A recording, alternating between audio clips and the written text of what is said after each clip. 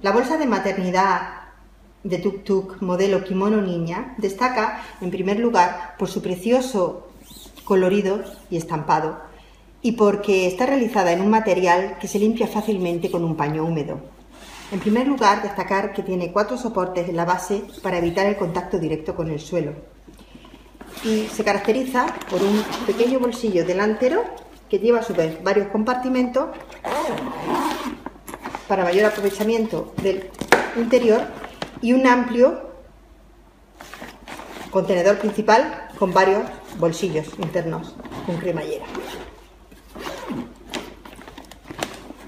Aparte de esto viene acompañada de este asa bandolera por si quiere llevarse de manera cómoda sobre el hombro y del cambiador de pañales y de los colgadores para enganchar en cualquier tipo de cochecito de bebé.